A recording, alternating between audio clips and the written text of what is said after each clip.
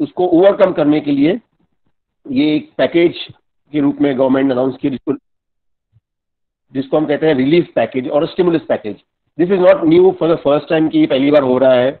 India में भी बहुत बार हुआ है. इनफैक्ट अब कोविड के बाद में भी ऐसा नहीं कि पहली बार इंडिया में हुआ है. इनफैक्ट बहुत से अलग अलग कंट्रीज़ में ऑलरेडी पैकेजेस अनाउंस हो चुके हैं और the trade industry MSME were very eager to know कि इंडिया में कब ये अनाउंस होगा और क्या इसके बुलेट uh, पॉइंट्स होंगे क्या हाईलाइट्स होंगे और how it will help all of us तो before going to the nitty gritty और थोड़ा सा हम समझते हैं कि ये पैकेज कैसा काम करता है तो ये पैकेज आपको uh, आपको रिसेशन से बचाता है.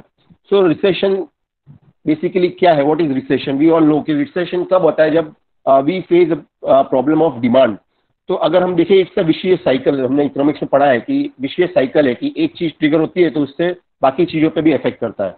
तो सबसे पहला इफ़ेक्ट क्या होता है रिसेशन का कि इट लीड्स टू अनएम्प्लॉयमेंट बेरोजगारी बढ़ जाती है, नए एम्प्लॉयमेंट अपॉर्चुनिटीज़ नए ओपन अप नहीं होते हैं। The industry is also in the cost saving mode cost cutting mode और अनएम्प्लॉयमेंट शुरू होता है हमारे साथ में। श्रेया जी है she is more into this man power recruitment she knows कि how this recession affects this employment industry और जैसे ही अनएम्प्लॉयमेंट होता है, बेरोजगारी होती है तो लोगों के हाथ में जो परचेसिंग पावर होते हैं, जो परचेसिंग पावर लोगों के हाथ में होता है, वो that affected very badly purchasing power अपने आप कम हो जाती है और फिर उससे क्या होता है कि जो पॉपुलेशन है they go for selective buying selective buying यानी जो नेसेसिटी है, जो बेसिक नेसेसिटी है, जो एसेंशियल है, उसी की बाइंग ज़्यादा होती है और बाकी चीज़ों में फिर डिमांड जनरेशन नहीं होता है। तो that affects the economy as such जैसे ही कंजन हमारा कम हो गया परचेसिंग पावर हमारी कम हो गई सो वी सी की it leads to decreasing consumption और जो कंपनीज़ होती है जो मैन्युफैक्चरिंग यूनिट्स होती है जो इंडिया में है या इवन फॉरेन कंपनीज़ इनका अपने आप uh, अपने आप इनका जो जनरेशन होता है रेवेन्यू जनरेशन है वो कम हो जाता है। Because there is no demand तो सप्लाई क्यों करेंगे? तो there are two issues demand is also issue और साथ में सप्लाई भी इज़ इशू मैं बाद में बताऊँगा सप्लाई का इशू अभी इंडिया में क्यों हो रहा है. Will discuss on later on but जो इकोनॉमिक एस्पेक्ट है my screen is visible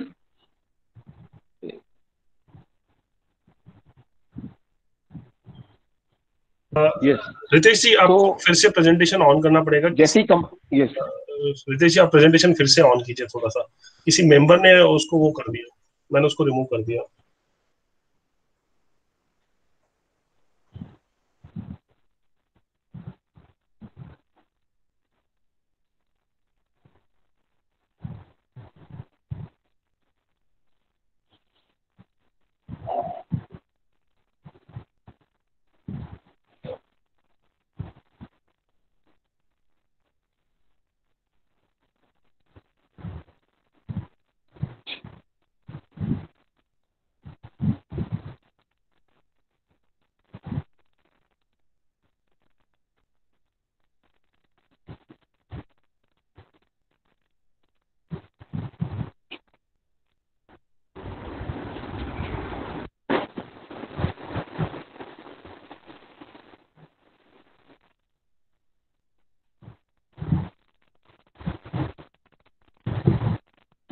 अब विजिबल हुआ क्या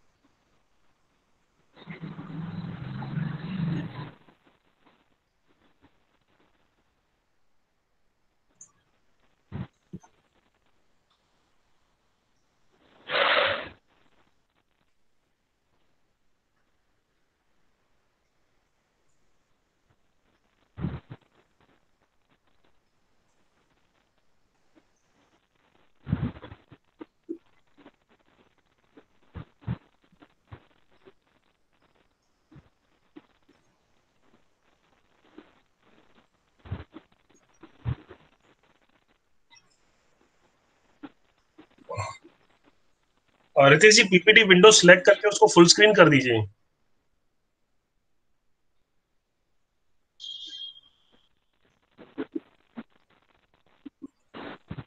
It हाँ अब हाँ ठीक है आप विजिबल है अभी।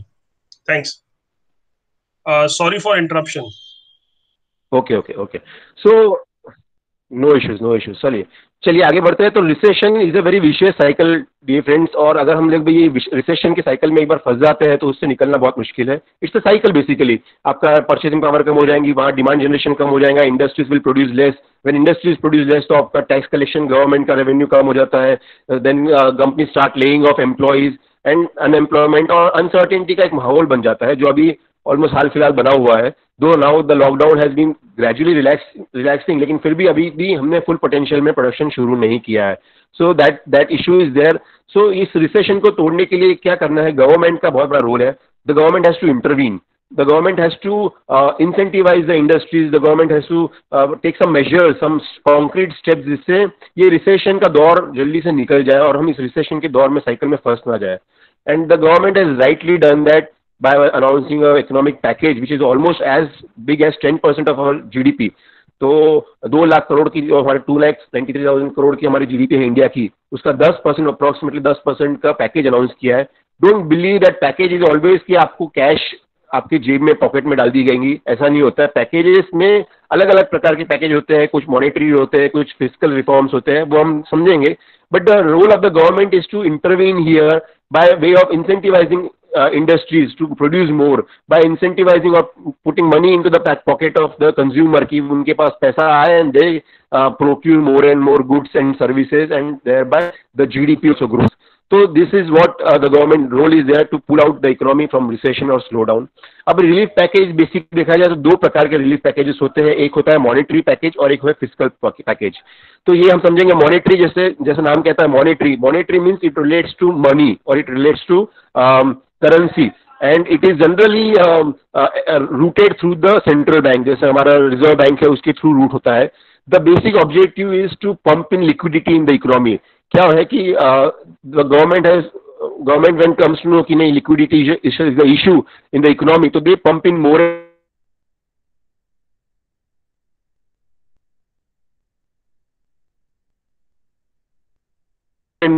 more money through RBI अब इसके बहुत सारे टूल्स होते हैं आरबीआई कैसा पंप करेगा? RBI is not a direct bank कुछ टूल्स होते हैं जैसे एक, एक है इंटरेस्ट रेट का टूल है। जैसा लगा कि भी मार्केट में लिक्विडिटी कम है लोगों के पास पावर परचेसिंग पावर कम है तो what they do they they reduce the interest rate और इंटरेस्ट रेट रिड्यूस होते ही more people borrow the money from bank and liquidity फिर मार्केट में आती है। लेकिन हमको ये भी समझना होगा कि इतना आसान नहीं है कि आपने बस लिक्विडिटी लाना है आपने इंटरेस्ट रेट कम कर दिया। इसके कॉन्सिक्वेंशियल इफेक्ट्स भी होते हैं इकोनॉमी में। अब एग्ज़ाम्पल के लिए मैं बताता आपको अगर आपने इंटरेस्ट रेट आप कम कर दिया तो क्या होता ठीक है लिक्विडिटी बढ़ जाएँगी, लेकिन फॉरेन डायरेक्ट इन्वेस्टमेंट आपका नहीं आएगा। Why because the investors they are always search of the market जहाँ पे इंटरेस्ट रेट हाई है। मान लीजिए आपने इंडिया में इंटरेस्ट रेट कम कर दिया इंटरेस्ट रेट कम कर दिया है तो they will take out your money from the Indian economy and they will invest in some other economy जहाँ पे इंटरेस्ट रेट हाई है। ठीक है तो this has a consequential effect negative effect भी इसका होता है। लाइकवाइज आपको लगता है कि भी मार्केट में लिक्विडिटी ज़्यादा है इन्फ्लेशन बहुत है, महँगाई बढ़ रही है तो उसमें क्या होता है कि the government RBI raises the interest rate also तो इंटरेस्ट रेट बढ़ाने से फिर से लिक्विडिटी कम हो जाएँगी और प्राइजेस कंट्रोल में आ जाएँगी। तो ये interest rate is one of the tool लेकिन जैसे मैंने कहा कि ये ऐसा नहीं है कि आपके पास में एक जादू की छड़ी है आपने चला दिया। इसके कॉन्सिक्वेंशियल इफ़ेक्ट भी होते हैं ऑन अदर एस्पेक्ट ऑल्सो वैसे दूसरे टूल होते हैं repo rate reverse repo rate ये क्या होता है repo rate reverse repo rate basically ये आरबीआई और बैंक के बीच का इंटरेस्ट रेट होता है। अगर बैंक के पास में सरप्लस पैसा पड़ा है तो दे दे डिपॉजिट आरबीआई और उनको कुछ इंटरेस्ट मिलता है उस पर दैट इज़ रेपो रेट तो अगर बैंक को मान लीजिए रेपो रेट है तीन परसेंट तो बैंक के पास में पाँच सौ, एक लाख करोड़ का सरप्लस अमाउंट है, वो आरबीआई में इन्वेस्ट करता है और उसको तीन परसेंट मिलता है। लेकिन वही चीज़ अगर वो आरबीआई में इन्वेस्ट ना करके बाकी कंज्यूमर को दे and they get more interest तो that will be attractive proposition for the bank तो ये जो रिपो रेट और रिवर्स रिपो रेट है, ये भी एक टूल है जिससे बैंक आरबीआई अपने बैंक में जो सरप्लस मनी है उसको या तो अपने पास बुला लेती है, या बैंक को कहती है, आप मेरे पास ले जाइए, आप मेरे पास पैसे मत रखिए, आप उसको मार्केट में लैंड कीजिए। क्योंकि मेरे पास आपको इंटरेस्ट कम मिलेगा, आप मार्केट में जितना लैंड करोगे, उतना इंटरेस्ट ज़्यादा मिलेगा and profitability of bank will depend on that तो ये जो repo rate reverse repo rate है, ये भी एक गवर्नमेंट का टूल है। दूसरा होता है एक सी आर आर और एस एल आर ये सारे जो भी मैं टूल्स बता रहा हूँ, ये सारे मॉनिटरी टूल्स हैं। एक है सी आर आर और S L R C R R S L R यानी कैश स्टैचुरी लिक्विडिटी रेशियो हर बैंक को, हर बैंक को अपने पास में कुछ अमाउंट एक एज अ लिक्विडिटी रेशियो के हिसाब से आपको रखना पड़ता है. They can't lend hundred percent आपके उसमें मान लीजिए डिपॉजिट पाँच लाख करोड़ के हैं तो आप पूरा पाँच लाख करोड़ लैंड नहीं कर सकते. आपको उसमें कुछ परसेंटेज आपके इसमें रिज़र्व के रूप में रखना पड़ता है. तो रिज़र्व के रूप में आप रखेंगे तो वो रेशियो कितना रखना है, वो भी आरबीआई डिसाइड करता है. अब वो रेशियो अगर गवर्नमेंट बोलती है आरबीआई बोलती है कि आप उसको कम कीजिए तो आपके पास में बैंक के पास में सरप्लस मनी ज़्यादा होगा to lend to the borrowers government बोलती है कि नहीं, आप उसको रेशियो को बढ़ा दीजिए तो आपके पास बैंक के पास में वो जो लैंड करना है, वो amount will be less available to them तो ये सारी चीज़ें फैक्टर्स प्ले करती है गवर्नमेंट को कि लिक्विडिटी कितना कम करना है इकोनॉमी में। लिक्विडिटी का इम्पैक्ट आपके इन्फ्लेशन पे भी है। ज़्यादा लिक्विडिटी मार्केट में बहुत ज़्यादा पैसा है तो इन्फ्लेशन रहेगा क्योंकि महँगाई बढ़ जाएँगी।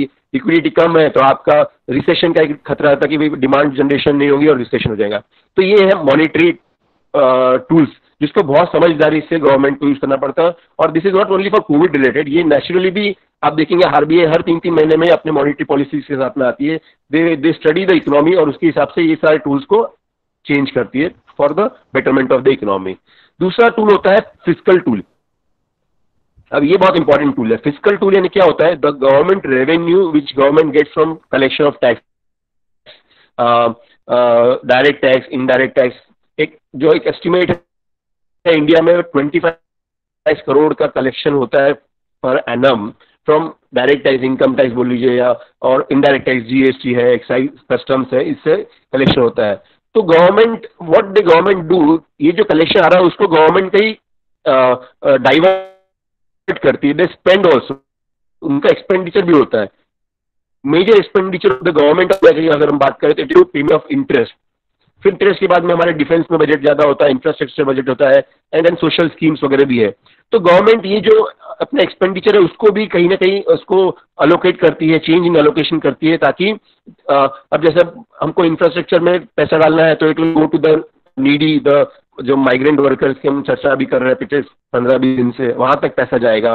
तो गवर्नमेंट रीअलोकेट करती है अपने बजट को। फिर टैक्स पॉलिसीज़ को भी चेंज करती है। कभी कभी टैक्स पॉलिसी अगर कलेक्शन बढ़ाना है तो उसको बढ़ा देती है टैक्स पॉलिसीज़ कम कर देती है। तो ये सारे टूल्स होते हैं फ़िज़िकल फ़िज़िकल टूल होते हैं। अभी हमने जो पैकेज हमारी जो चर्चा हो रही है कि भाई government of India announce a very big package of as much as ten percent of its GDP तो ये जो 20 लाख करोड़ का जो पैकेज अनाउंस किया है प्रधानमंत्री ने और जो उसका डिटेल्ड हम पिछले चार पाँच दिन से देख रहे हैं फाइनेंस मिनिस्टर के थ्रू ये अपने आप में बहुत बड़ा पैकेज है। बट अगर हम समझे कि ये पैकेज हमने ऐसा किसी ने सोचा होगा कि ये बीस लाख करोड़ ऐसा उस दिन हुआ था व्हाट्सएप पे घूम रहा कि बीस करोड़ का पैकेज डिवाइड बाय एक सौ पैंतीस करोड़ की आबादी, हम सबके अकाउंट में पंद्रह हज़ार रुपये आ जाएँगे। तो ऐसा नहीं होता। This is not a cash package this is a package of various अलग अलग मेजर्स से मॉनिटरी मेजर्स फ़िज़िकल मेजर्स के थ्रू गवर्नमेंट ला रही है, जिससे लिक्विडिटी भी इकोनॉमी में बढ़ेगी, जहाँ पे आपको डायरेक्ट ट्रांसफ़र करना है, वहाँ डायरेक्ट ट्रांसफ़र भी करेगी। तो this are hybrid package which has been this, this is a hybrid package which has, been announced by the uh, government through this COVID uh, package तो ये जो पैकेज है इसको कहा गया है आत्मनिर्भर भारत। हम सब जानते हैं बहुत सुना हमने तो इसमें बेसिक पाँच पिलर्स है। एक बात तो बता दूँ कि this is a very bold measure कि अपने आप में दस परसेंट ऑफ़ द जीडीपी अपने ये is a very big amount in fact हम चाइना की बात करें तो चाइना ने जो पैकेज रिलीज़ किया है which is almost three and half percent of its GDP तो इतना जो China is centre of this problem वहाँ भी इतना कम अमाउंट का पैकेज अनाउंस किया but India has taken a bold step no doubt India is not the only country जहाँ पे इतना बड़ा पैकेज हुआ है. अदर कंट्रीज़ लाइक जापान में जो पैकेज अनाउंस किया that was as much as 20 percent of its economy then America has also announce package is almost in the range of 13 to 15 percent of its GDP तो दूसरे देशों ने भी अलग अलग बड़े बड़े पैकेजेस अनाउंस किए हैं और हर जगह अपने अपने प्रॉब्लम्स होते हैं, हर जगह अपने अपने कॉम्प्लिकेशन होते हैं. We can't compare a developing country Asian country like India with a develop nation like America United States ठीक है वहाँ बहुत ज़्यादा अनऑर्गेनाइज सेक्टर है. तो हो सकता है वहाँ पे पैकेज में ज़्यादा कैश पैकेजेस उन्होंने अनाउंस किए wage wage announce wage reinvestment announce किए लॉस ऑफ़ रेवेन्यू अनाउंस किया, जो यहाँ पे नहीं मिला हमको अभी तक। But that is not possible because we have more of an unorganise industry unorganise sector तो हमारा पैकेजेस में क्या फोकस था basically that is land labour liquidity and law ये चार चीज़ों को फोकस करके गवर्नमेंट ने अनाउंस किया कि हम ये पैकेज अनाउंस करेंगे। एंड ऑलरेडी कुछ कुछ पार्ट तो आरबीआई ने पहले अनाउंस कर दिया था, ये जो पीएम के अनाउंसमेंट के पहले भी। But now they have consolidated everything in this single package और इसमें इन्होंने फाइव मेजर पिलर्स को कवर किया है to make India self reliant nation इसमें इकोनॉमी है इंफ्रास्ट्रक्चर है टेक्नोलॉजी ड्रिवन सिस्टम को बात किया गया है डेमोग्राफी और डिमांड ये पाँच फैक्टर्स को इन्होंने एड्रेस करने की बात की है। और पिछले हम लोग चार दिन से देख रहे हैं। पहला दिन जो अनाउंसमेंट हुआ था फाइनेंस मिनिस्टर का that was more on support to MSME then second day it was to agriculture जो फार्मर्स है या जो माइग्रेंट लेबर्स है। ऐसे अलग अलग पैकेजेस अनाउंस हुए।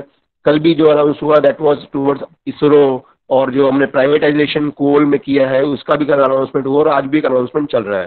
So this is basically a package announce by government of India अब हम देखेंगे कि पैकेज में इन्होंने जो फाइन प्रिंट्स हम देखते हैं कि क्या है पैकेज में exactly I will just with you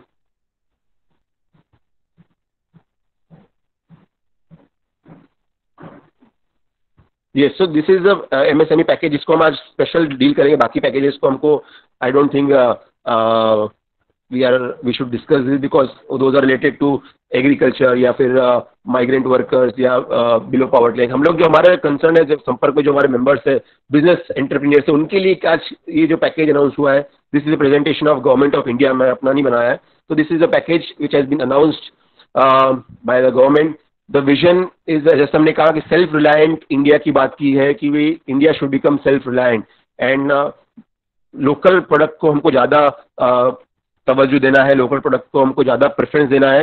And we have to become vocal for our local products ये पिछले चार दिन में हम लोग व्हाट्सएप पे हमारे संपर्क में भी कैलाश जी बहुत डिस्कशन चल रहा है कि चाइनीज़ आइटम कौन सी है और जो हम क्या क्या इम्पोर्ट कर रहे हैं. But now we have to change our gear and we have to change the focus from imported indigenous to indigenous goods which are being manufactured in India or made in India.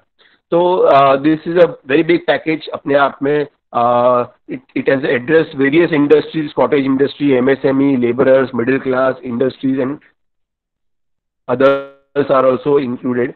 इसमें पहला part जो मैंने कहा कि already पहला part तो announce हो चुका था इन द फॉर्म ऑफ़ प्रधानमंत्री गरीब कल्याण पैकेज मुझे लगता है उस पर हमको चर्चा करने की ज़्यादा ज़रूरत नहीं because this is more of a direct cash transfer direct benefit transfer to the the down prudent जिसको हम कहते हैं in form of insurance cover दिया हेल्थ वर्कर्स को, या अस्सी करोड़ आबादी को आपको पाँच किलो वीट और एक किलो पल्स फ्री मिलेगा तीन साल तीन महीने के लिए और उसको और आगे बढ़ा दिए बाद में तीन महीने के लिए। फिर बीस crore Jan Dhan account holder women account holder will get five hundred rupees per month for next three month this is direct bank transfer there is no intermediary involve तो ये सारे मेजर्स लिए गए हैं। एक लाख सत्तर हज़ार करोड़ के आसपास के मेजर्स है which has directly affected directly benefited the end person the person last in the line तो इसमें बहुत सारे मेजर्स लिए गए। इसमें एक जो बिज़नेस फ्रेंडली मेजर था वो है कि जो इंडस्ट्री में जहाँ पे पीएफ अप्लीकेबल है PF is a provident fund employees provident fund होता है अप्लीकेबल है, और वहाँ पे कंडीशन थी कि जहाँ पे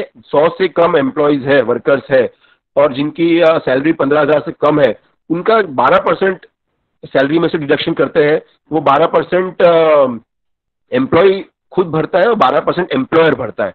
तो ये चौबीस परसेंट कॉन्ट्रीब्यूशन जाता है पीएफ अकाउंट पे, और PF is basically saving for the employ which he can retrieve at the end of his employment तो वो गवर्नमेंट ने बोला कि हम तीन महीने के लिए हम उसको uh, ना एम्प्लॉय से लेंगे ना एम्प्लॉयर से लेंगे गवर्नमेंट विल कॉन्ट्रीब्यूट उसमें कंडीशन दी है कि सबके लिए अप्लीकेबल नहीं है जहाँ सौ से कम वर्कर है और जहाँ सैलरी पंद्रह हज़ार से कम है उन्हीं के लिए है। तो ये तीन महीने के लिए था। अभी अभी सेकेंड अनाउंसमेंट में ये तीन महीने का और तीन महीने बढ़ा दिया है। तो टोटल सिक्स मंथ्स की जो कॉन्ट्रीब्यूशन है ट्वेंटी फोर मंथ्स का कॉन्ट्रीब्यूशन ये गवर्नमेंट करेगी, ये आपको ना एम्प्लॉय को डिडक्ट करना है, ना एम्प्लॉयर को पे करना है। ये एक बहुत बड़ा रिलीफ है। देन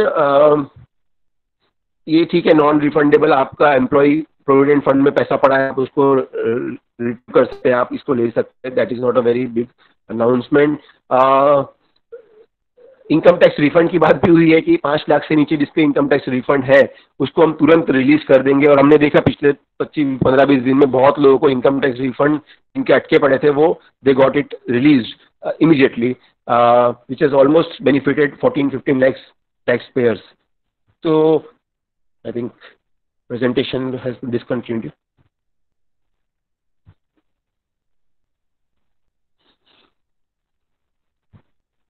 इस कैलाश जी प्रेजेंटेशन आ रहा है कि वापस करूँ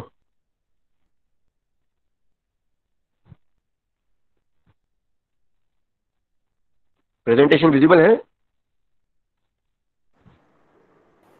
it's visible. Okay, okay, okay. Thank you. So, um, जो इनकम टैक्स रिफंड्स लोगों के पेंडिंग थे I think this can be termed as a package itself लेकिन गवर्नमेंट ने अब सब चीज़ों को पैकेज में इंक्लूड कर दिया। इनफैक्ट कल एक बहुत ही अच्छा है ना, एक ऑन ह्यूमर लाइटर नोट एक कहा गया था कि भाई I am I am taking out my money from my A T M will that be a part of the package तो ऐसा income tax refund is my money if I get it will it be package but government has what they done कि बहुत बार generally ये delay हो जाता है, साल साल भर आपको रिफंड नहीं मिलता है। तो that refund they have got it so that liquidity comes in the system immediately let us focus on the measures जो रिलेटेड टू स्टैचुरी कंप्लायंसेस है वो भी हम लोग को ध्यान रखना है। चैट बॉक्स में कुछ डिस्कशन हो रहा है। Is the presentation visible to all नहीं नहीं रितेश जी प्रेजेंटेशन ऑफ़ हो गया है। विजिबल नहीं है। Okay okay. आप मुझे व्हाट्सअप कर देंगे क्या प्रेजेंटेशन रितेश जी? हाँ ठीक है ना। आप रन करेंगे इसको? हाँ वो बेटर रहेगा।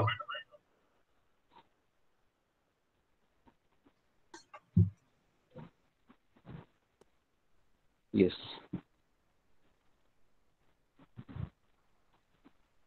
ओके अभी विजिबल है?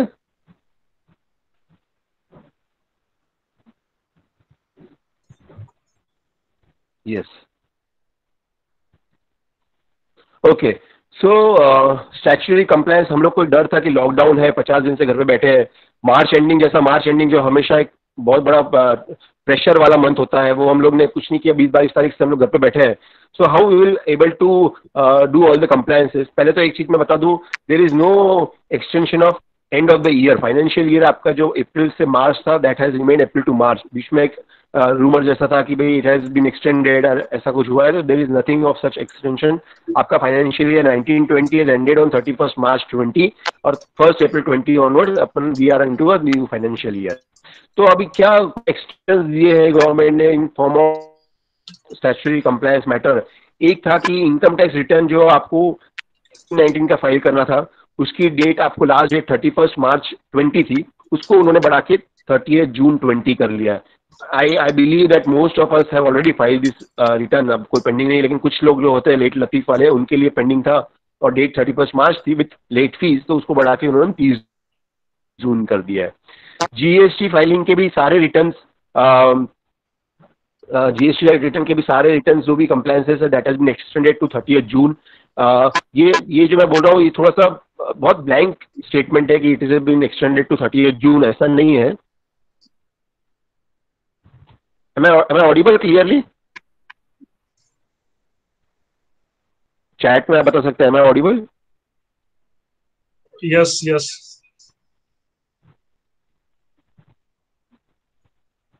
जी are audible okay so GST के भी फाइलिंग्स इन्होंने बढ़ा दी है थर्टी जून कर डाली है। Yes but the only condition है गिवन कि आपको जो मंथली रिटर्न फ़ाइल करना है जो मंथली पेमेंट करना है वो आपको करना ही है। उन्होंने सिर्फ़ हर महीने के अपने पंद्रह दिन का ग्रेस दे दिया है कि पंद्रह दिन के तक आपको, हम कोई इंटरेस्ट लेवी नहीं करेंगे, लेकिन उसके बाद आप पेमेंट करते तो interest will be applicable but बाकी लेट फ़ीस या और कोई पीनियर प्रोविज़न आपसे अप्लीकेबल नहीं होगा it has been extended then और भी कुछ कुछ रिलैक्सेशन है, आप तीन महीने तक if you are debit card holder आप किसी भी एटीएम से पैसा विड्रॉ कर सकते हैं there'll not be any charges for it फिर जो मोटर व्हीकल एक्ट और इंश्योरेंस पॉलिसी के भी प्रीमियम ड्यूज थे by thirty first March that has also been extended तो ये सारे मेजर्स लिए है गवर्नमेंट ने कंपनी लॉ में भी we have to conduct meeting every six monthly तो वो भी आपको उसका भी एक्सटेंशन दिया है, फिर उसको वीडियो कॉन्फ्रेंसिंग से भी आप मीटिंग कर सकते हैं, वो भी परमिशन गवर्नमेंट ने दी है। So they have address all the major issues जो हमको थे, कि how we will do it पहला जो मेजर आया था in form of the package was RBI announcement of one lakh thirty one thousand crore का जो पैकेज अनाउंस हुआ था।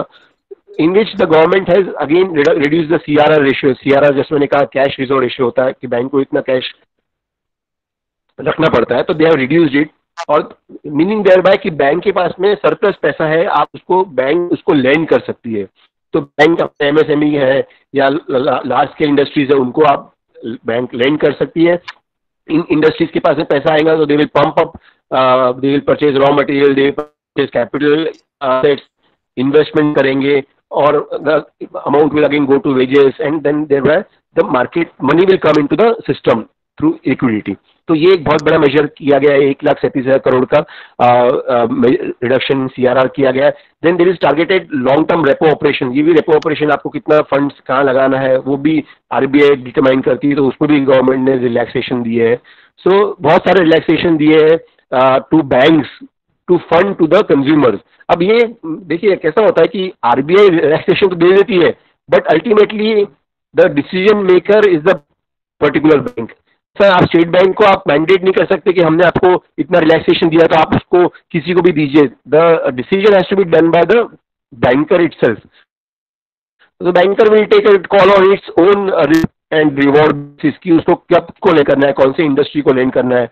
तो ऐसा नहीं कि आपने यहाँ पे एक लाख सैंतीस हज़ार करोड़ रिलीज़ कर दिया तो वो ऑटोमेटिकली इमीडिएटली दूसरे दिन इकोनॉमी में आ जाएगा। No you have to apply for this loan आपकी एलिजिबिलिटी होनी चाहिए। The bank will will review it उसको मॉनिटर करेंगे and then if they feel कि okay you are a good one to lend the money then they will do it so thereafter the liquidity will come it will not immediately come into the system फिर और भी है RBI ने उसके अलावा जो नाबार्ड है सिडबी है जनरली जहाँ पे हाउसिंग बोर्ड है जहाँ पे जनरली फार्मर्स है या एग्रीकल्चरिस्ट को फंडिंग होती है।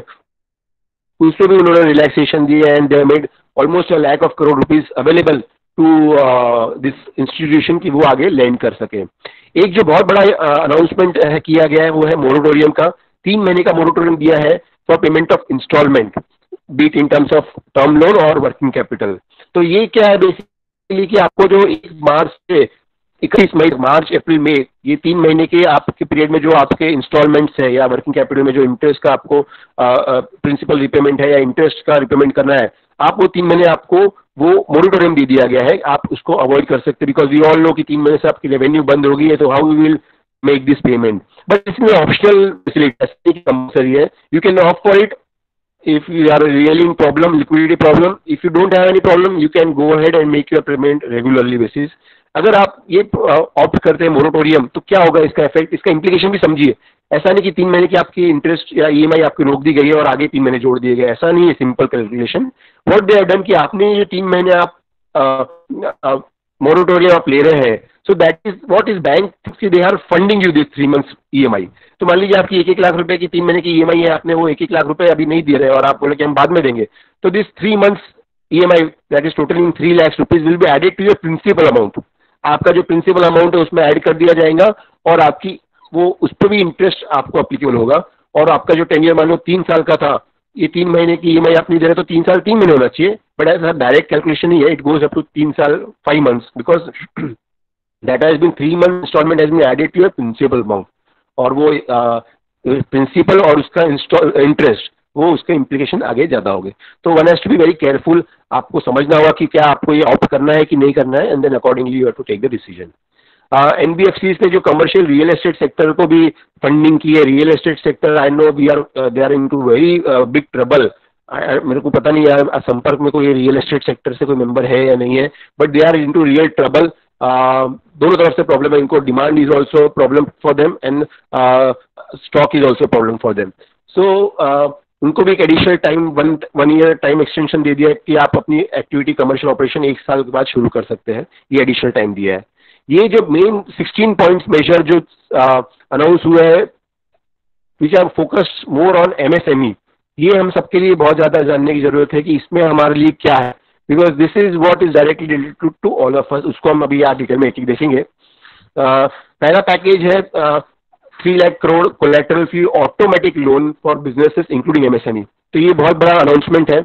एमएसएमई को अगर आपको एडिशनल फंडिंग चाहिए because of this lockdown liquidity has become a problem for you आपको तीन लाख करोड़ का हम, हमने प्रोविज़न कर दिया है that the bankers are made available with this fund they can lend all of you लेकिन ये किसके लिए है? ये सबके लिए नहीं है। ये सिर्फ़ uh, जो borrower with up to 25 crore outstanding amount है एंड टर्नओवर ऑफ़ 100 करोड़ इन्हीं के लिए एलिजिबल है। तो आपका अगर टर्नओवर 100 करोड़ से नीचे है और आपके पास पच्चीस करोड़ से आउटस्टैंडिंग अमाउंट लोन की है वर्किंग कैपिटल या टर्म लोन तभी आप इसमें जा सकते हो और आप 20 परसेंट आपको एडिशनल लोन आपको इसके तहत आपको ग्रांट किया जाएगा।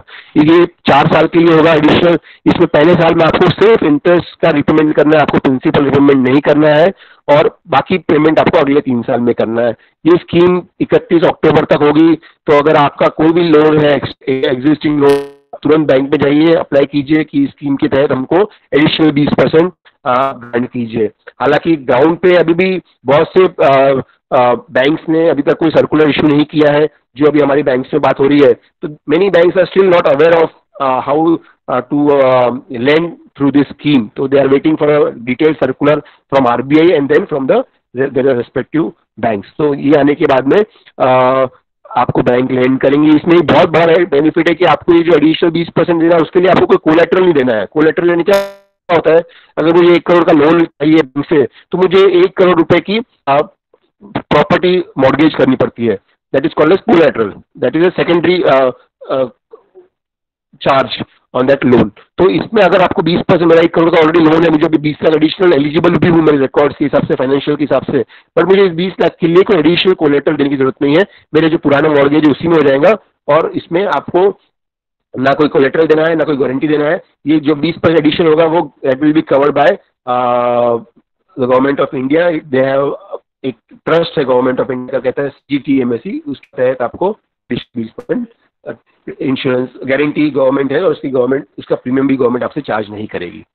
दूसरा एक है ये सबॉर्डिनेट डेट ये सबॉर्डिनेट डेट यानी क्या होता है जो स्ट्रेस्ड एमएसएमई है बहुत से एमएसएमई एनपीए हो चुके हैं एनपीए यानी नॉट रेगुलर इन रिपेमेंट तो उनके लिए गवर्नमेंट ने कहा कि हम आपको सबॉर्डिनेट डेट देंगे। सबॉर्डिनेट डेट यानी this is a type of debt जिसपे कोई प्रकार का चार्ज फ़र्स्ट चार्ज नहीं होता। है यानी क्या होता है मान लीजिए आप इंसॉल्वेंसी में चले गए तो आपको आ, ये सबॉर्डिनेट डेट को पहले नहीं चुकाना पड़ेगा, पहले आपको बाकी लोन चुकाने पड़ेंगे और secondary charge will be on the subordinate debt तो ये भी एक बहुत अच्छा बेनिफिशियल प्रोविज़न है जो एन पी ए है या जो रेगुलर अकाउंट नहीं है बट दे फील कि हम they can get back into the system with this additional support then this is mother of all उनको कहा है पचास हज़ार करोड़ इक्विटी इन्फ्यूजन इक्विटी की बात की है लोन नहीं है, ये इक्विटी है इक्विटी यानी गवर्नमेंट पार्टिसिपेशन बहुत बार क्या होता है स्टार्टअप्स है या ऐसे जो नए एंटरप्रीनियर्स होते हैं जिसको कोई फंड नहीं करता because they are very risk risky ventures ये चले, नहीं चले।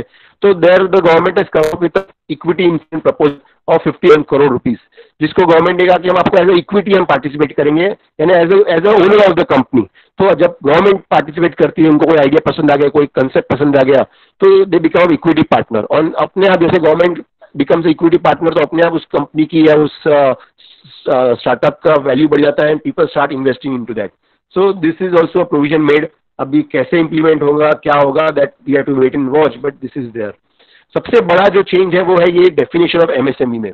ये एक बहुत बड़ा चेंज है।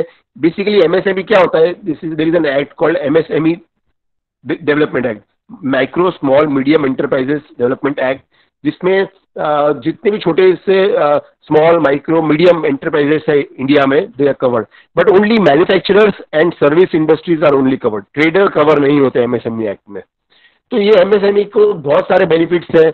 आप आप, आपने मान लीजिए कोई लार्ज स्केल यूनिट को सप्लाई किया, आप एमएसएमई है, आपने लार्ज स्केल यूनिट को सप्लाई किया तो उस लार्ज स्केल यूनिट को 45 दिन के अंदर आपको पेमेंट करना कंपलसरी है। वी कांट एक्सटेंड यू कि मेरे पास पेमेंट नहीं है, ये नहीं है, उसको तुरंत पेमेंट करना है। फिर एमएसएमई को बहुत सारे अलग बेनिफिट आपने बैंक से लोन लिया है तो आपको एक परसेंट एडिशनल बेनिफिट मिलेगा in form of interest subvention जो सिर्फ़ एमएसएमई को मिलता है। फिर आपकी इलेक्ट्रिसिटी ड्यूटी का जो आपको आ रहा है, उसमें भी आपको रिलैक्सेशन है।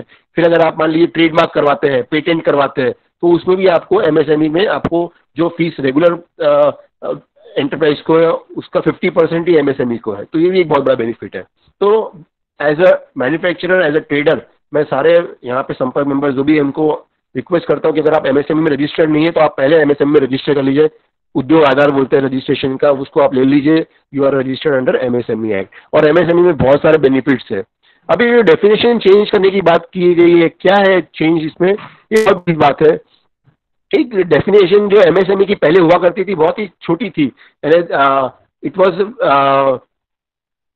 the limit was very small इसमें क्या था बहुत कम enterprises were cover under MSME but अब इसको बहुत वाइड कर दिया है। आई थिंक uh, फिर से प्रॉब्लम हुआ है स्क्रीन का।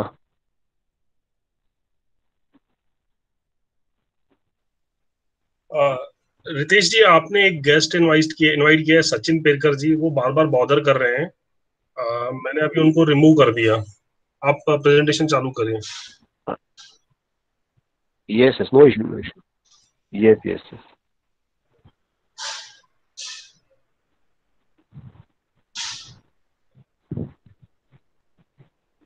okay. Is it visible now?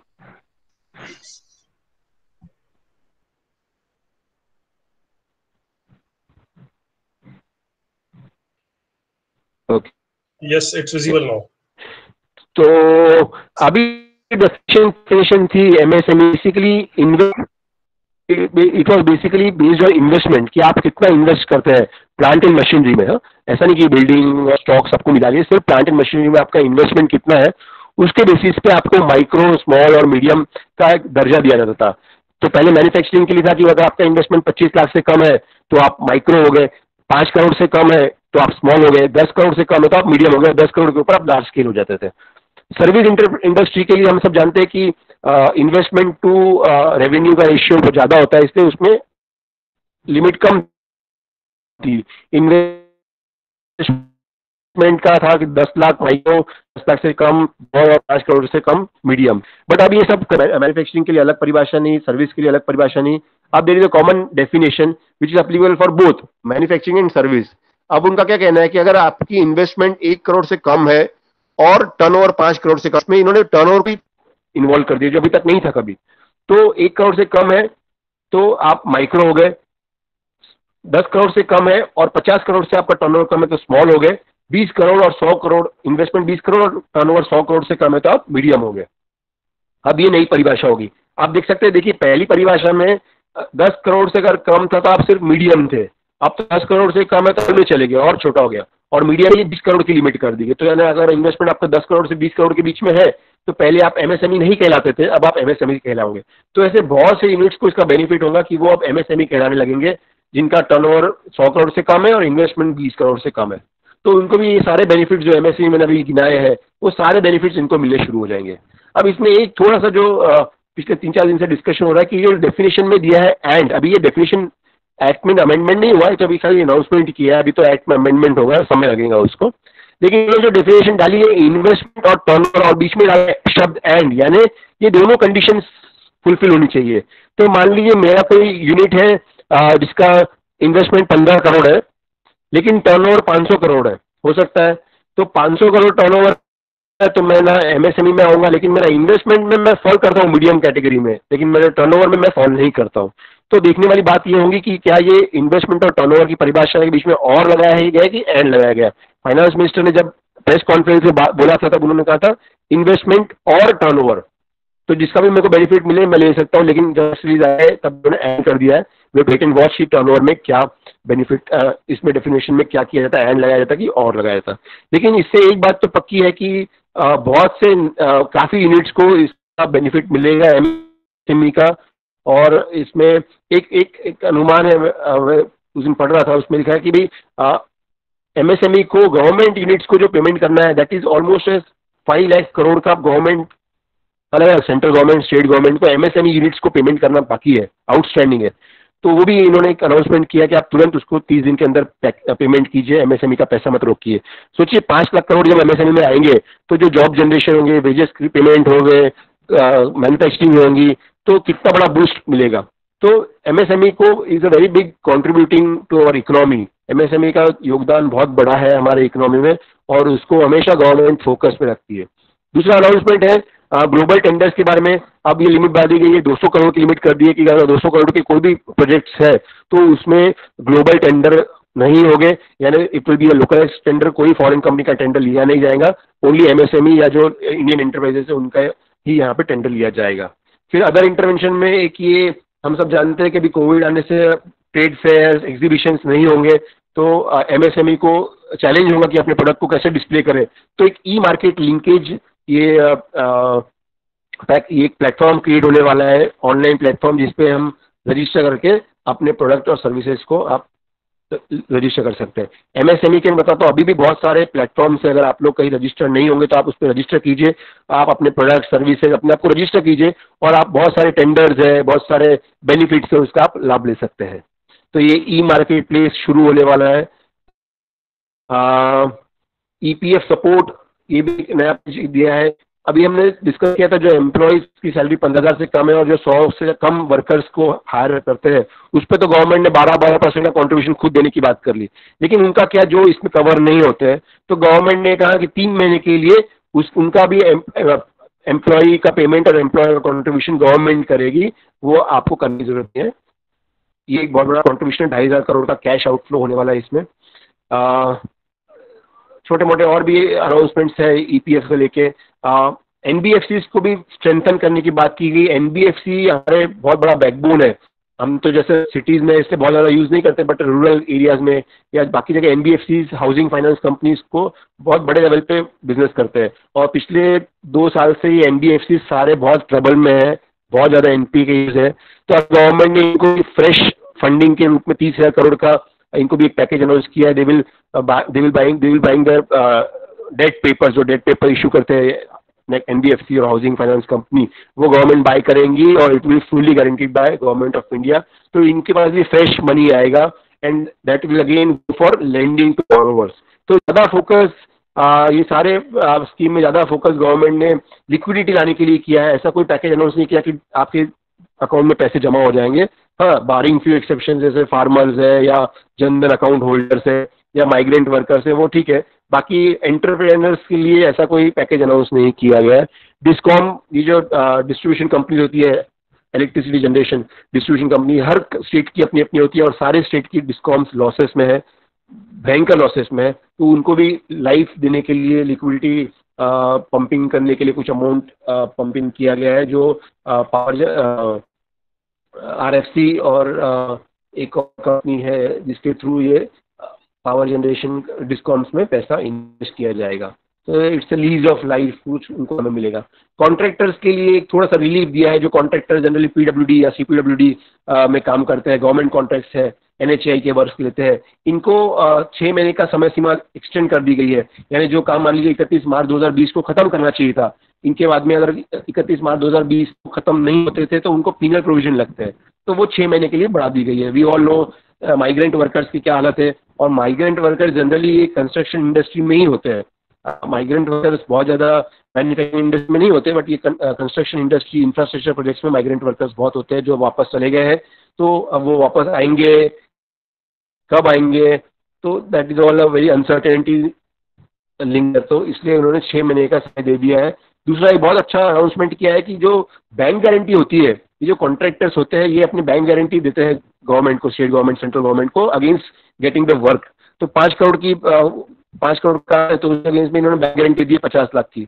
तो वो पचास लाख की मान लीजिए पाँच करोड़ का काम आपका तीन करोड़ का कंप्लीट हो गया सिक्सटी परसेंट काम हो चुका है तो आप वो पचास लाख में से सिक्सटी परसेंट की बैंक गारंटी रिलीज़ करवा सकते हैं तो वो पैसा जॉब पड़ा था आपका, वो रिलीज़ हो जाए कॉन्ट्रैक्टर्स का। तो ये एक अच्छा मूव है। देन रेरा रेरा भी हम सब जानते हैं, जो रियल एस्टेट में है कंस्ट्रक्शन बिल्डर्स है प्रमोटर्स है, उनको रेरा एक्ट अप्लीकेबल है। इसमें भी आपने मान लीजिए एग्रीमेंट में दे दिया कि भाई मैं आपको पोजेशन तीस अप्रैल 2020 को पोजेशन दे दूँगा। और मान लीजिए कि लॉकडाउन के हिसाब पोजेशन नहीं दे पा रहे। तो जो बायर है, वो आप पे केस कर सकता है कि भाई आपने एग्रीमेंट के हिसाब से हमको टाइम फ्रेम दिया था but you have not followed the time frame तो ये एक एक टर्म यहाँ पे मैं आपको शेयर करना चाहूँगा। That is a French term that is called force majeure force majeure यानी क्या है? थोड़ा लीगल टर्म है।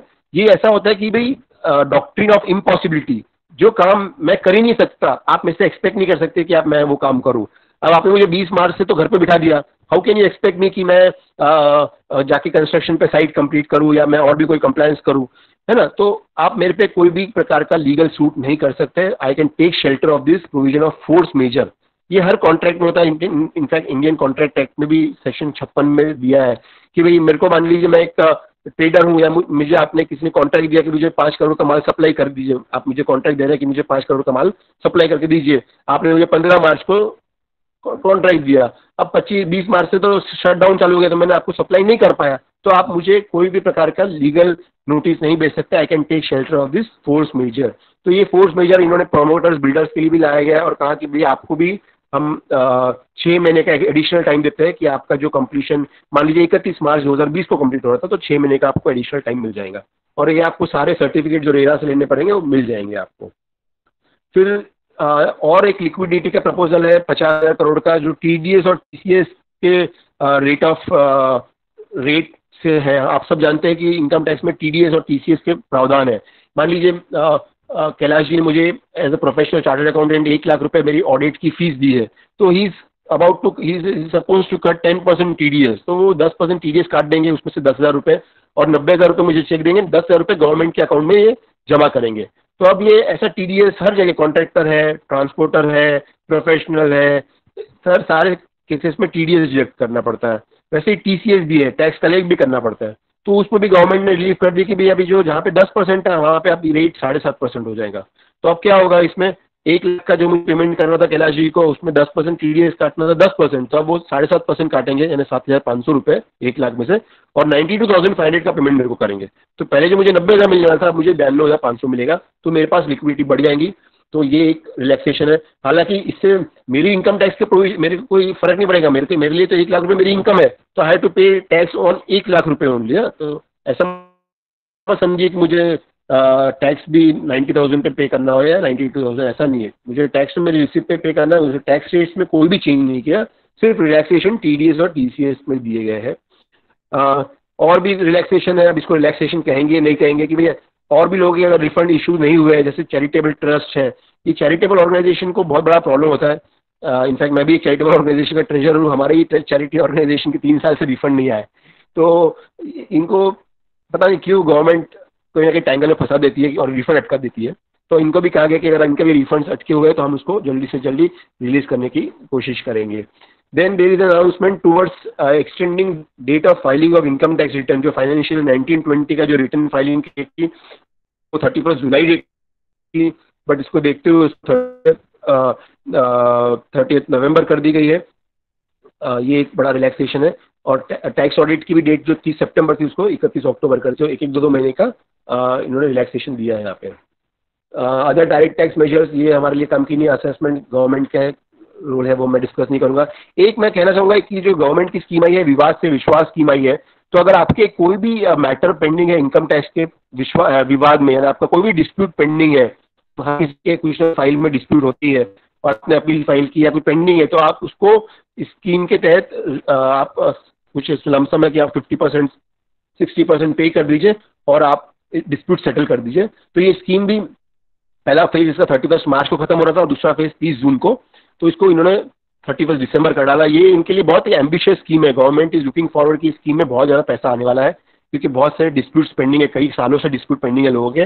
गवर्नमेंट चाहती है कि इसको इस स्कीम के तहत रिलैक्सेशन बढ़ा दिया जाए ताकि लोगों को चांस मिले। और ज़्यादा से ज़्यादा लोग इसमें स्कीम में आए।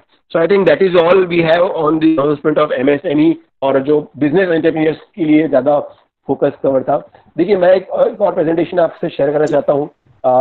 ये आप आप समझेंगे कि दो लाख करोड़ का जो अनाउंसमेंट है ऐसा नहीं है कि that is completely in cash है ना? तो गवर्नमेंट के लिए आउटफ्लो दो लाख करोड़ एक ही बार में नहीं हो रहा है।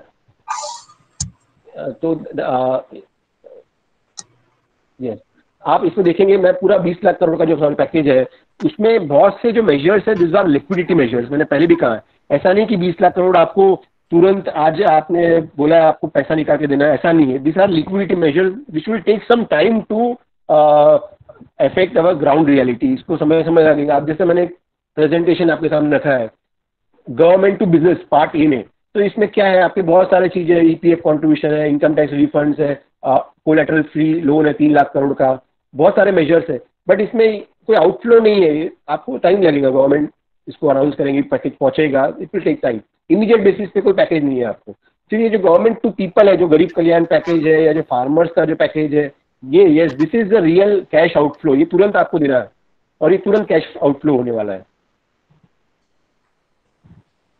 अगर आप ब्रेकअप देखेंगे बीस लाख करोड़ का तो कैश आउटफ्लो जिसको हम डायरेक्ट बैंक ट्रांसफ़र करते हैं कुछ तीन लाख करोड़ के आसपास का कैश आउटफ्लो बाकी जो लोन और लिक्विडिटी मेजर है वो सत्रह लाख करोड़ के है। तो ये ब्रेकअप है बीस लाख करोड़ का। And I think we should all as entrepreneurs हम लोग एंटरप्रीनियर्स किसको कहते हैं? Entrepreneurs means risk risk taking people तो हमको ऐसा कोई चैलेंज से घबराना नहीं चाहिए कि ऐसा कोई चैलेंज आ गया, मैंने क्या करना है how I will go head we should be very positive we should be very optimistic कि थिंग्स विल चेंज कहते हैं ना कि हमें भी गुजर जाएगा। We should be very positive and I think things will be back in to our control so I think that's all from my side thank you very much for giving me a wonderful opportunity कि मैं आप सबके साथ थोड़ा बहुत जो मेरा knowledge है उसको शेयर कर सकता हूँ। Thank you very dear Sampark friends thank you over to Kailash ji Ritesh ji thanks for us training and helping us to understand and these uh, government benefits in detail मैं पहले कुछ जो ज़्यादातर members की तरफ़ से question आए हैं वो दो तीन क्वेश्चन मैं आपसे uh, पूछना चाहूँगा। हमारे कुछ मेंबर्स हैं, वो पूछना चाहेंगे बीच बीच में मैसेज आ रहे हैं कि उनको कुछ क्वेश्चन हैं। जैसे हर्षद डामले जी और करुण सिंघानिया का भी मैसेज आया। एक तो बहुत ही सटीक क्वेश्चन है रितेश जी। देखिए, हमारा जो भी 45-50 लोग जो अभी ट्रेनिंग अटेंड कर रहे हैं, ये सब स्मॉल माइक्रो पे हैं, सबकी टर्नओवर पाँच करोड़ से कम है। सिर्फ़ स्पेसिफिक इसी ग्रुप को, जिसमें ज़्यादातर मतलब ट्रेडर्स हैं बिज़नेस ओनर्स हैं, या प्रोफेशनल्स हैं या कुछ सर्विस प्रोवाइडर्स हैं जैसे कैटरर्स हैं होटल वाले हैं तो इन सबकी टर्नओवर 90 95 परसेंट लोगों की टर्नओवर हमारी पाँच करोड़ से कम है। तो स्पेशली हमारे लिए अभी क्या है मतलब आ, जिस जिसका हम बेनिफिट ले सकते हैं?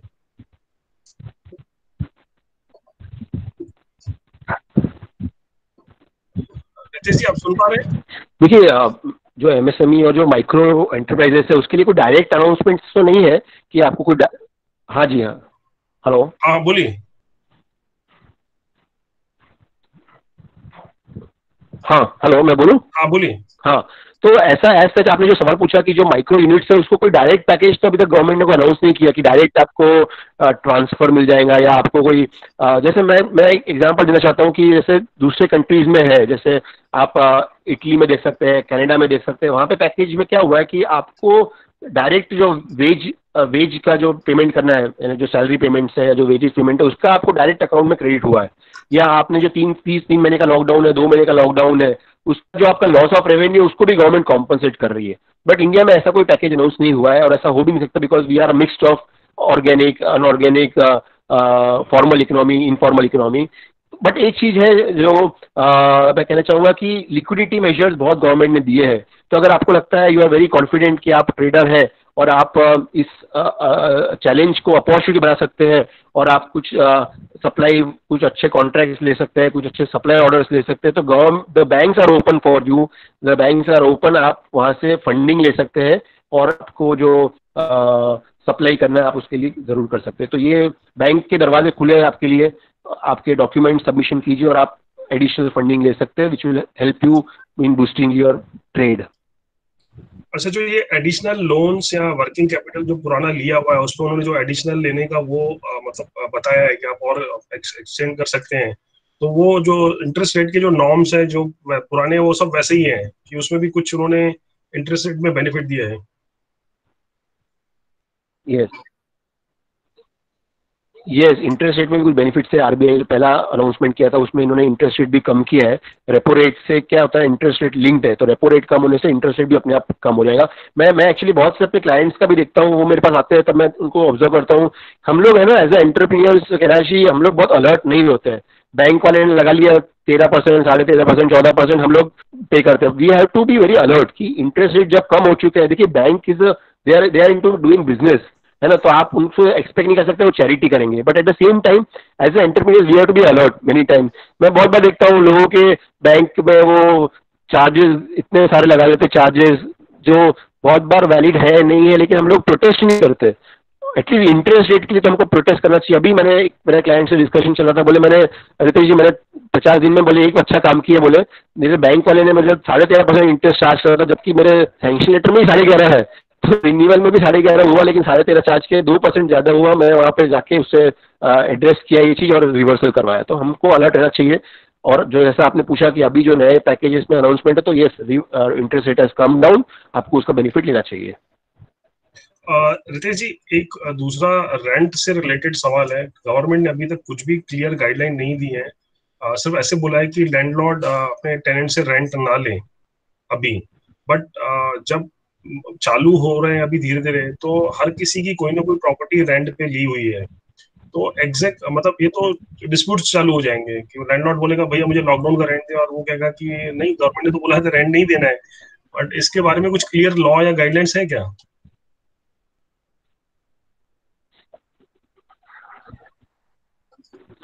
करेक्ट ये बहुत बड़ा बर्निंग इशू है। और आपने जो कहा कि गवर्नमेंट ने बोला कि रेंट मत दीजिए या मत लीजिए दैट इज़ बेसिकली एडवाइजरी कोई गवर्नमेंट का रेगुलेशन नहीं है कि आपको रेंट लेने से रोक सके। तो अगर मैं लैंडलॉर्ड हूँ आप मेरे टेनेंट हो तो मैं लैंड रेंट लेने का पूरा हकदार हूँ। अब ये बस आपको म्यूचुअली टेनेंट और लैंडलॉर्ड के बीच में म्यूचुअल डिस्कशन और म्यूचुअल कॉम्प्रोमाइज नेगोशिएशन करके ही आपको करना पड़ेगा। There will be no legislation in your support तो इनफैक्ट अभी एक सुप्रीम कोर्ट का जजमेंट है। सुप्रीम कोर्ट में ये एडवोकेट बार काउंसिल के जो एडवोकेट्स है they have approach Supreme Court और कहा कि भाई आपकी जो आ, बार काउंसिल उनसे वो जो चेंबर की जो रेंट लेते हैं आप उनको वेव कीजिए। तो सुप्रीम कोर्ट प्लेनली सेड नहीं हम आपको ऐसा ब्लैंकेट एग्जामेशन नहीं दे सकते। आज एडवोकेट्स आए कल आर्किटेक्ट्स आएँगे परसों इंजीनियर्स आएँगे तो हम किस किस को ऐसा देंगे? तो court has not come in support of the tenant तो आपको टेनेंट को लैंडलॉर्ड के बीच में नेगोशिएट करके ही ये काम करना होगा। इनफैक्ट मेरे एक दो क्लाइंट जो लैंडलॉर्ड है they have come to me की यार हमारे टेनेंट जैसे बड़ी बड़ी मॉल्स है या जो बड़े कॉरपोरेट डीलरशिप्स है कार के और ये, उनका दस दस लाख रुपए महीने का रेंट है। तो दे हैव ऑलरेडी इंटीमेटेड कि हम इतना नहीं दे पाएँगे लॉकडाउन में बंद था तो दे हैव नेगोशिएटेड कि फिफ्टी परसेंट में आप हमको उसको रीनेगोशिएट कर दीजिए। कॉर्पोरेट है तो सारे कंपनी के ईमेल आ गए हैं and we have done it so the best part is जो आप लैंडलॉर्ड टेनेंट के बीच में जो नेगोशिएशन हो सकता है, उसको ही आप फाइनल कीजिए। यही बात इवन वेजेस के लिए भी अप्लीकेबल है। सैलरी पेमेंट भी हम लोग बहुत बड़ा चैलेंज है कि सैलरी अब जैसा हम लोग पिछले दो महीने से बंद है, तीन महीने से बंद है, अब सैलरी पेमेंट तो हमको हर महीने करनी है तो कैसे करें हम उसको?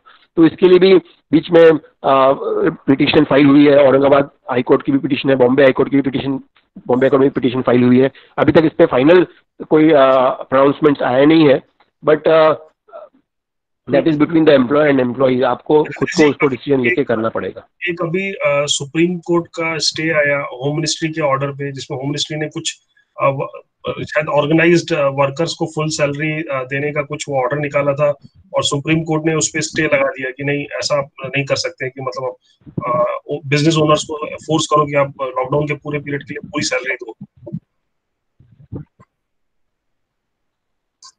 यस यस वो मैंने कहा सुप्रीम कोर्ट में अभी वो नोटिस भेजी है सेंट्रल गवर्नमेंट को and they ask for the reply अब वो we have to look for कि जब तक उसका फाइनल डिसीज़न नहीं आएगा, तब तक that matter is under subsidise matter तो अभी अपन उसको कुछ बोल नहीं सकते।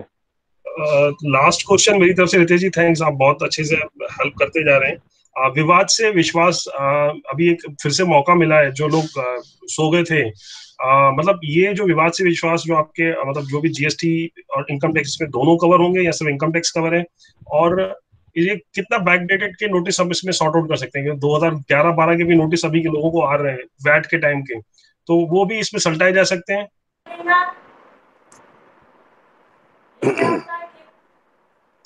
देखिए कैलाश जी ये जो विवाद से विश्वास की है ये बेसिकली इनकम टैक्स की स्कीम है। इसके ऑलरेडी इसके पहले आ, सर्विस टैक्स और एक्साइज की अलग अलग टैक्स है ना, ये डायरेक्ट टैक्स है। सर्विस टैक्स और एक्साइज इनडायरेक्ट टैक्स है। तो उस पर ऑलरेडी स्कीम आई थी और बहुत अच्छी हुई। उसके पहले स्टेट गवर्नमेंट ने भी अपनी वैट की स्कीम लाई थी। उस पर भी इन्होंने, अभी क्या है, सब, सभी गवर्नमेंट का एक ही फोकस है कि जितने भी पेंडिंग लिटिगेशन है, आप देखेंगे, सारे कोर्ट्स हाई कोर्ट बोल लीजिए या डिस्ट्रिक्ट कोर्ट बोलिए या फिर जो ट्राइब्यूनल्स होते हैं, हर एक्ट के तहत, वो सारे इतने केसेस केसेस से लोडेड है। और इतने पुराने पुराने केसेस नाइनटीन नाइनटी के केसेस अभी भी पेंडिंग है 1990 के। तो दे वॉन्ट कि आप इसको रिलीव कर लीजिए आप विड्रॉ कर लीजिए, हमको लड़ना नहीं है, आपसे गवर्नमेंट कहती है, भैया, आपको अगर सौ रुपये पे डिस्प्यूट है, ठीक है, आप बीस रुपये तीस रुपये चालीस रुपये जो गवर्नमेंट ने निकाला है, उतना दे दीजिए, हमको आपसे लड़ना ही नहीं है। इंटरेस्ट भी माफ़ कर देता है पेनल्टी माफ़ कर देता है। आप सोचिए, अगर सौ रुपये का, उन्नीस सौ नब्बे का आउटस्टैंडिंग है तो आज 2020 में तीस साल बाद वो इंटरेस्ट ही कितना हो जाएगा? तो गवर्नमेंट कहती है, यार, आप भी पीस ऑफ़ माइंड लीजिए, हमको भी पीस ऑफ़ माइंड दीजिए। और हमको भी गवर्नमेंट वॉन्ट्स रेवेन्यू तो हमको भी आप कुछ ना कुछ रेवेन्यू इसमें से निकल जाए। तो अभी ऑलरेडी महाराष्ट्र गवर्नमेंट ने भी वैट की एमनेस्टी स्कीम लाई थी, फिर उसके बाद सेंट्रल गवर्नमेंट ने एक्साइज और सर्विस टैक्स की लाई थी स्कीम दोनों खत्म हो गई है। अब ये जो विवाद से विश्वास है, ये प्योरली इनकम टैक्स की स्कीम है। और ये हर नोटिस को कवर नहीं करेंगी। उसी नोटिस को कवर करेंगी जो इसमें आपने अपील फ़ाइल की आप लिटिगेट कर रहे हैं कि भैया ये मेरे अगेंस्ट में ऑर्डर पास हुआ मैं इससे मान्य नहीं हूँ मुझे प्रॉपर अपॉर्चुनिटी नहीं मिली या जो गलत है जो भी है आप अगर अपील में गए तो ये आप वो विवाद को विश्वास में बदल लीजिए आप वो अपील विड्रॉ कर लीजिए और आपने एक लमसम परसेंटेज फिक्स किया है वो आप पे कर दीजिए and you get free of the dispute तो ये यानी कि ऐसी संभावना आई है। अभी आप देखेंगे कलेक्शन ऑलरेडी गवर्नमेंट का बहुत हो रहा है। बोलिए बोलिए। सिचुएशन देख के ऐसे लग रहा है कि मतलब बाकी भी जो स्कीम्स अभी पहले बंद हो गई जैसे स्टेट की वैट की या जीएसटी की तो फिर से वो गवर्नमेंट चालू करेंगी क्योंकि उनको रेवेन्यू लगेगा और सारे पेंडिंग मैटर सल्टाए जाएँगे।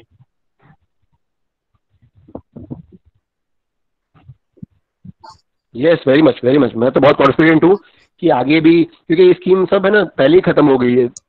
एक जो स्कीम आई थी गवर्नमेंट की स्पेशली अपने वैट की बात की दो हज़ार तेरह तक की अप्लीकेबल था। लेकिन वैट दो हज़ार सत्रह तक था तो चौदह, पंद्रह, सोलह, तीन साल के मैटर्स अगर हुए होंगे तो उसमें भी आप लिटिगेट करोगे डिस्प्यूट करोगे। तो उसके लिए इसलिए गवर्नमेंट की स्कीम आएँगी, ज़रूर आएँगी।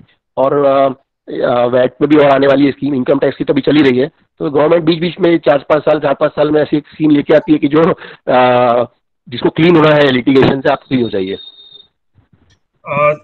Thanks Ritesh ji thanks for answering all the question जो मुझे मेंबर्स की तरफ़ से आए थे. Uh, अभी जो मेंबर्स ने चैट विंडो में क्वेश्चंस पोस्ट किए मैं वन बाय वन उनका नाम लूँगा.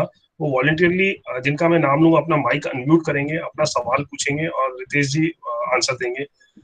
हर्षद डामले जी ऑनलाइन है वो कंस्ट्रक्शन सेक्टर से हैं. उनको कुछ सवाल पूछने हैं. हर्षद जी आप सुन पा रहे हैं? आप अपना माइक रितेश जी नमस्ते। मैं Harshad Tamble home construction sir आवाज़ आ रही है? हेलो रितेश जी? हाँ हाँ आ रही हाँ। रितेश जी मैं आ रही बोलिए। हाँ मैं कंस्ट्रक्शन एक रियल एस्टेट में काम करता हूँ। मेरा अभी एम एस एम ई में रजिस्ट्रेशन नहीं है तो वो रजिस्ट्रेशन मैंने करना चाहिए क्या उसको मुझे बेनिफिट क्या मिलेंगे?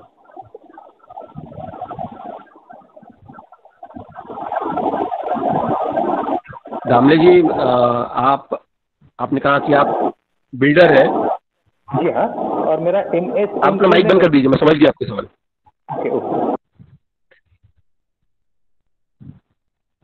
हाँ। देखिए आप हर्षद जी आप एमएसएमई में रजिस्ट्रेशन नहीं ले सकते क्योंकि आप एक बिल्डर है। बिल्डर के लिए एमएसएमई एक्ट अप्लीकेबल नहीं है। एमएसएमई एक्ट सिर्फ़ मैन्युफैक्चरर और सर्विस प्रोवाइडर के लिए अप्लीकेबल है। तो आपको एमएसएमई का बेनिफिट नहीं मिलेगा।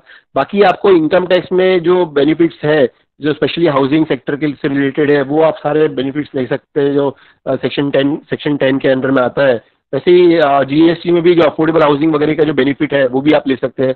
इनफैक्ट जो प्राइम मिनिस्टर आवास योजना जो है प्रधानमंत्री आवास योजना ये, इसका भी बेनिफिट अभी गवर्नमेंट ने एक्सटेंड कर दिया है एक साल के लिए। तो इसका भी आप बेनिफिट है जो इसमें इसके तहत जो गवर्नमेंट सब्सिडी देती है दो लाख सड़सठ हज़ार रुपये की सब्सिडी मिलती है हर एक हाउस बायर को तो वो आप अपने जो कंज्यूमर है जो आपके हाउस बायर से आप उन तक वो बेनिफिट पहुँचा सकते हैं।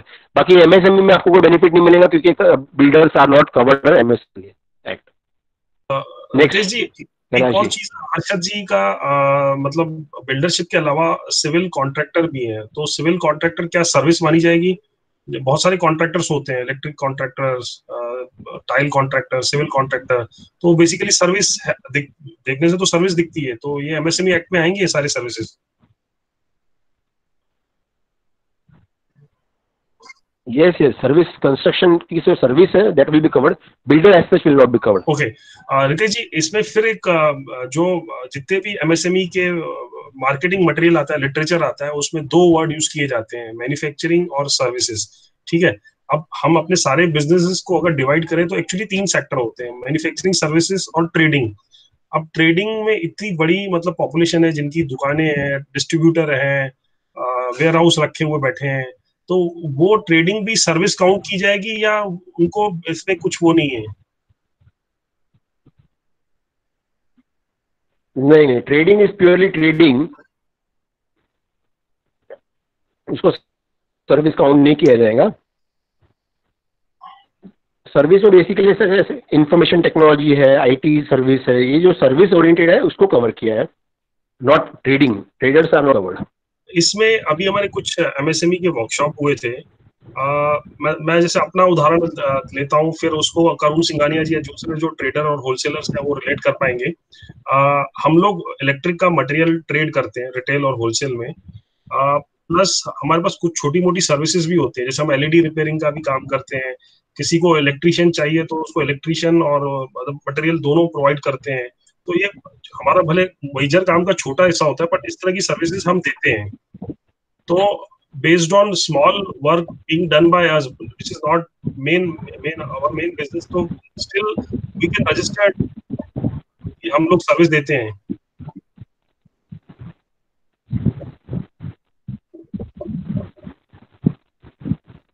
देखिए, आपका प्रिंसिपल सप्लाई जो है ना, वो ट्रेडिंग है। ठीक है, आपका सर्विस दे रहे हैं आप लोग but that is ancillary supply तो प्रिंसिपल सप्लाई आपका ट्रेडिंग है। तो आपको डायरेक्ट बेनिफिट तो नहीं मिलेगा एमएसएमई में, लेकिन आप फिर भी एमएसएमई में रजिस्टर कर लीजिए, आप आधार उद्योग ले लीजिए, और एक बेनिफिट आपको ज़रूर मिलेगा एमएसएमई का। आपको बैंक में एक ट्रेडर के लिए भी इंटरेस्ट सबवेंशन स्कीम है। तो आप वो एमएसएमई रजिस्ट्रेशन दिखा के आप एटलीस्ट जो ट्रेडर का एमएसएमई का जो बेनिफिट है, वो आप बैंक के थ्रू ज़रूर ले सकते हैं। एक से डेढ़ परसेंट का आपको इंटरेस्ट सबवेंशन है। तो जो इंटरेस्ट अगर मान लीजिए साढ़े तेरह परसेंट है तो आपको बारह परसेंट मिलेगा। ये बेनिफिट आप ज़रूर ले सकते हैं। बाकी उसके अलावा जो उसमें और बेनिफिट्स है जैसे कुछ पैकेज स्कीम ऑफ़ इंसेंटिव्स है महाराष्ट्र गवर्नमेंट की कुछ इंसेंटिव की स्कीम्स है। जैसे आप एक मैन्युफैक्चरर है, आपने दस करोड़ का कोई प्लांट लगाया है इन्वेस्ट किया तो आपको sixty percent of that investment six दस करोड़ है तो छह करोड़ का आपको एक पैकेज मिल पैकेज। और आप जैसे जी पे कर रहे हैं या इलेक्ट्रिसिटी ड्यूटी पे कर रहे हैं इंटरेस्ट पे कर रहे हैं, उसका आपको रिफंड मिलेगा। But this will be only for manufacturers not for traders traders के लिए तो आप सिर्फ़ इंटरेस्ट सबवेंशन का एक बेनिफिट ले सकते हैं। बीच में कुछ क्वेश्चंस पॉपअप हुए। जैसे श्रेया ने पूछा कि कॉटेज इंडस्ट्री तो मेरे ख्याल से कॉटेज इंडस्ट्री मैन्युफैक्चर करते हैं, वो तो मैन्युफैक्चरिंग में आ ही जाएँगे। एक श्रेया ने एक और अच्छा सवाल पूछा एनजीओ एमएसएमईज में आएँगे क्या?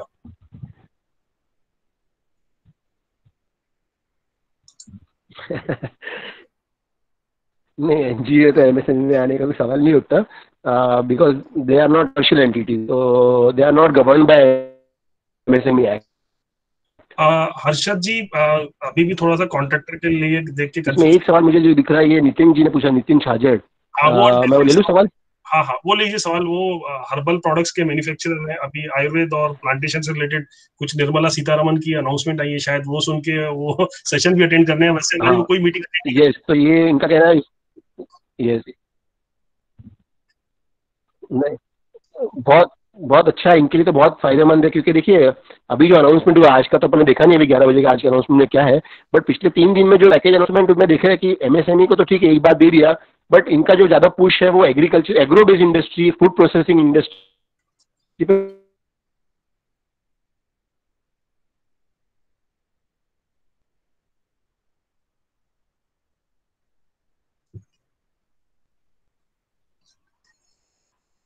वो जैसे आयुर्वेदिक है इसको भी इन्होंने ज़्यादा बूस्ट किया है। तो इनका जो सवाल नितिन जी, का मैं पढ़ता हूँ, इसमें venture is about to new start my product which absolutely Ayurveda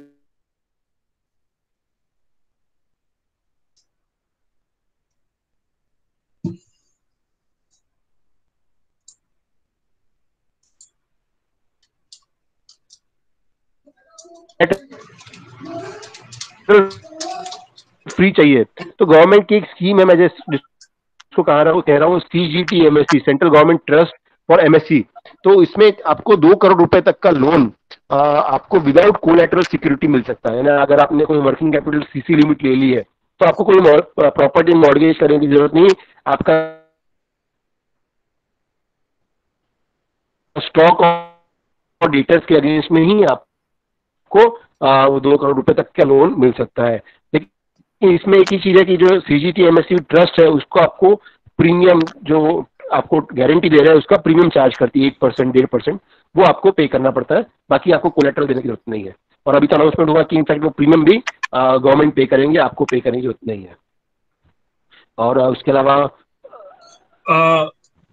Harshad जी। सौरभ महाकालकर जी का सवाल है as per presentation it seems to be difficult to apply for collateral free loan for MSME from bank yes generally banks don't encourage banks generally don't encourage uh, giving uh, funding on collateral basis. तो generally bank collateral माँगता है but आप बोल सकते हैं ये C G T M S scheme में आप ले सकते हैं। इनफैक्ट जो गवर्नमेंट की छोटी स्कीम है जैसे मुद्रा है आ, मुद्रा स्कीम है उसमें भी बिना कोलेटरल मिलता है लेकिन बहुत अमाउंट कम होता है। इससे कोई सक्सेस नहीं है वो। हर्षद जी का सवाल है loan for agriculture based new industry loan for agriculture based new industry yes आपको मिलेगा लोन अगर आपकी एग्रो बेस्ड इंडस्ट्री है प्रोसेसिंग यूनिट आप डालना चाहते हैं या एग्रो बेस्ड कोई यूनिट है, ज़रूर लोन मिलेगा। इनफैक्ट ये तो गवर्नमेंट के लिए प्रायोरिटी सेक्टर लेंडिंग है पीएसएल बोलते हैं गवर्नमेंट तो बैंक्स तो पहले ढूंढते हैं कि एग्रो बेस्ड इंडस्ट्री कौन है, उनको पहले फंडिंग करो, क्योंकि उनका कोटा होता है कि इतना percentage of priority sector lending आपको करना ज़रूरी है। ये हार्दिक दवे जी पीडब्ल्यूडी सीपीडब्ल्यूडी के कॉन्ट्रैक्टर रजिस्टर कर सकते हैं एमएसएमई में यस बिल्कुल कर सकते हैं। आप कीजिए, उसका बेनिफिट लीजिए। जय कृष्ण जी का सवाल है are architecture interior design services consider as part of MSME yes very much आप यू आर अ प्रोफेशनल आप उसको कवर कर सकते हैं all contractors to start new ventures ये सचिन जी, आप भले नया वेंचर चालू करना चाहते हैं, आप अपना प्रोजेक्ट रिपोर्ट सबमिट कीजिए, आपको बिल्कुल लोन मिलेगा, कोई प्रॉब्लम नहीं है। Yes so I think Kailash ji that's all सवाल सब हो चुके हैं। एक एक सवाल है व्हाट अबाउट ईडीएफ करुण ने लिखा है, मुझे भी नहीं पता क्या ये ईडीएफएस हेलो रितेश जी नहीं ये तो करुण जी से पूछना पड़ेगा ईडीएफएस थोड़ा सा डिटेल समझा क्या है ये? प्लीज़ करुण जी आ, एक ईडीएफएस स्कीम हाँ. होती है जिसमें जैसा मैं ब्लू स्टार का डिस्ट्रीब्यूटर हूँ और ब्लू स्टार के कोलेटरल के साथ में मेरा एक अकाउंट में बैंक में अकाउंट है जिसमें एक करोड़ रुपए ब्लू स्टार मेरे से जब भी बिल जनरेट करती तो पैसा ले लेती है एसबीआई से मेरे। लेकिन अभी मैं कल बैंक में गया कि मुझे उसका limit dealer funding dealer funding dealer funding बोल रहा है डीलर हाँ डीलर फंडिंग तो वो भी उसमें एक्सटेंशन मिलेगा क्या मुझे बीस परसेंट का?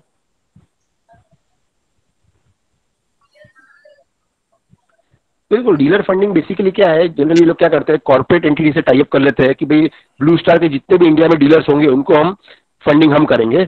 बट uh, उसमें एक ही चीज़ है आपका जो एग्रीमेंट है Blue Star that is basis for that funding लेकिन आपके फाइनेंशियल्स आपके कोलेट्रल्स वो आपको इंडिपेंडेंट लेवल देना पड़ता है। उसमें कोई ब्लू स्टार की कोई गारंटी या कोई कवरेज uh, कवर नहीं होता है। तो एज ए इंडिविजुअल डीलर आपको अपने फाइनेंशियल्स आपको कोलेट्रल्स आपकी क्रेडिट रेटिंग सारी चीज़ें आपको स्टैंड करना पड़ता है then you can get go for it और रही बात आपको जो अभी एक्सटेंशन आप बीस परसेंट का जो बोल रहे हैं मेरे हिसाब से डीलर फंडिंग में भी वो एडिशनल फंडिंग अवेलेबल होना चाहिए because there is no bar as such but बहुत से बैंक को अभी तक भी क्लैरिटी आई नहीं है कि uh, किस किस को कवर करना है.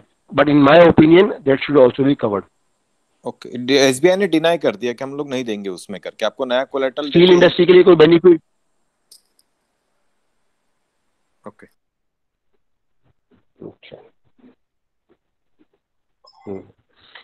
स्टील इंडस्ट्री के लिए बेनिफिट्स पूछा यश उदेशी ने तो स्टील इंडस्ट्री के ऐसे डायरेक्ट कोई बेनिफिट नहीं है बट वही एमएसएमई के लिए जो बेनिफिट्स है वो आप उसका ले सकते हैं स्टील मैन्युफैक्चरिंग में अगर आप रोलिंग मिल वगैरह है तो आप बेनिफिट्स ले सकते हैं। E-commerce also get uh, benefit from e-commerce. I think they will not get benefit from MSME. I think, but I have to check it out. E-commerce will get it or not.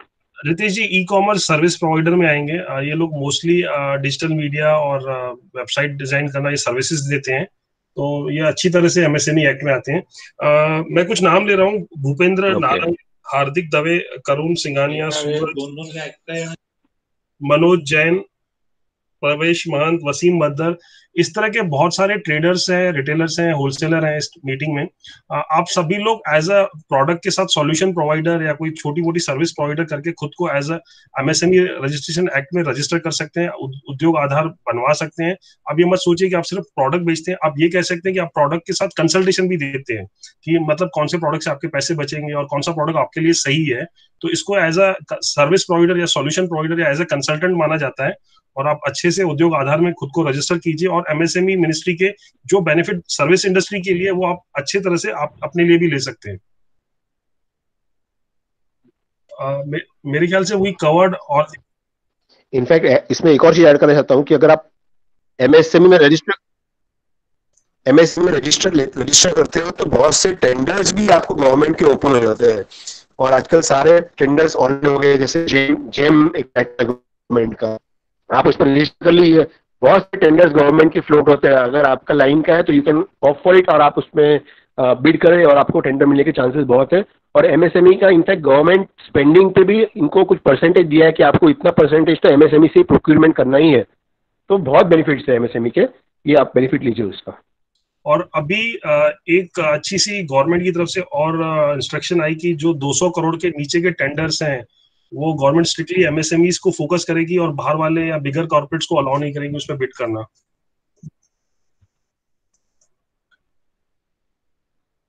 आ, हम लोग अगर किसी को कोई सवाल ना हो तो यहाँ पे सेशन को एंड कर सकते हैं। टाइम भी हो रहा है। रितेश जी बहुत बहुत धन्यवाद आपका। Yes Raghu Sharma ji modular kitchen को आप as a service provider solution provider करके रजिस्टर कर सकते हैं एमएसएमई एक्ट में। रितेश जी, आप कंक्लूड करेंगे?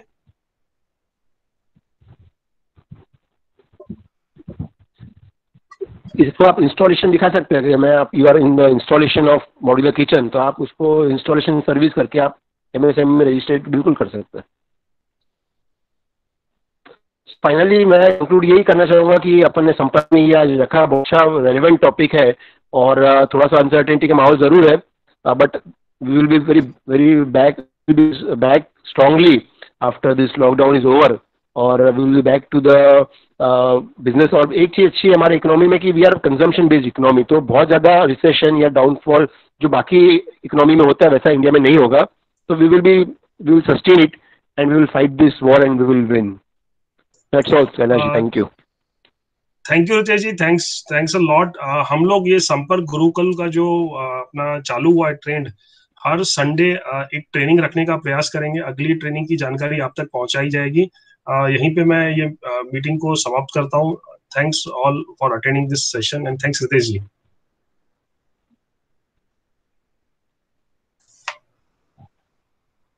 thank you